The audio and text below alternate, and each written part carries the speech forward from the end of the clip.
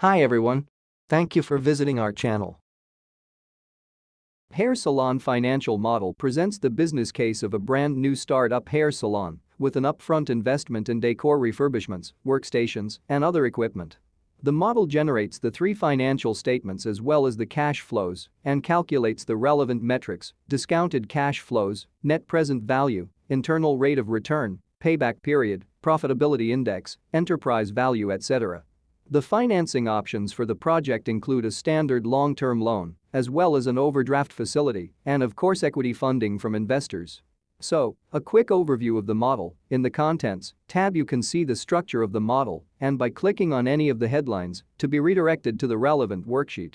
On the Manual tab you are able to feed the general information for the model such as project name and title, responsible, timeline of the model and date and currency conventions. Additionally, there is a description of the color coding of the model in the same tab. Inputs are always depicted with a yellow fill and blue letters. Call up, that is direct links from other cells, are filled in light blue with blue letters, while calculations are depicted with white fill and black characters. There is also a color coding for the various tabs of the model. Yellow tabs are mostly assumptions tabs, gray tabs are calculations tabs, blue tabs are outputs tabs, that is effectively results or graphs, and finally light blue tabs are admin tabs, for example, the cover page, contents, and checks.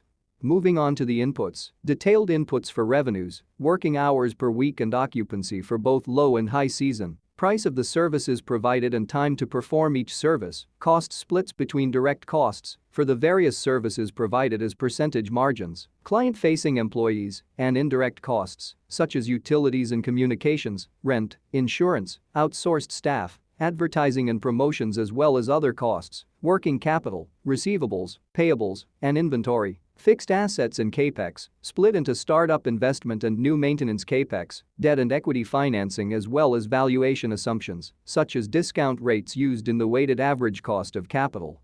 In the Summary tab you are able to see a high-level report with the main metrics and value drivers of the model.